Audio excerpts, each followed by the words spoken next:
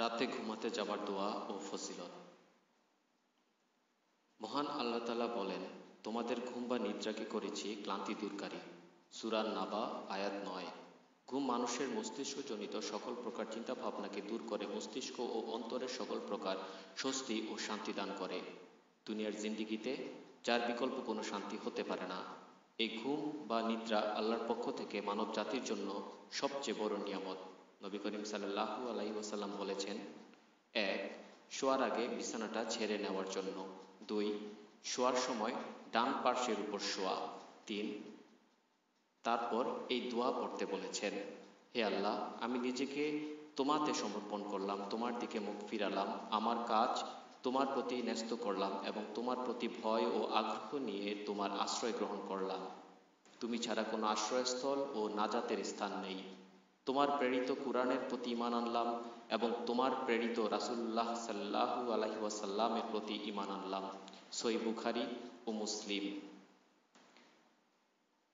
এই দোয়ার ফজিলত হচ্ছে রাসুল্লাহ সাল্লাহ আলাইসাল্লাম এক ব্যক্তিকে বললেন, যখন তুমি বিছানায় ঘুমাতে যাবে, তখন নামাজে ন্যায় উঁচু করবে, তারপর তোমার ডান পার্শ্বের উপর শুবে এবং উক্ত দোয়া পড়বে।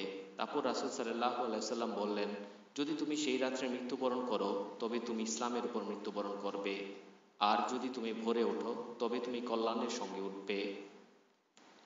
চার, রাসুল সাল্লাহু আলহিহাসাল্লাম যখন রাতে শয্যা গ্রহণ করতেন, তখন বলতেন, হে আল্লাহ, তোমারই নামে আমি মৃত্যুবরণ করেছি এবং তোমারই অনুগ্রহে জীবিত হব। সহি বুখারি, পাঁচ রাসুল্লাহ সাল্লাহু আলহিহাসাল্লাম শোয়ার সময় ডান হাত গালের নিচে রেখে নিম্নের দোয়াটি পড়তেন।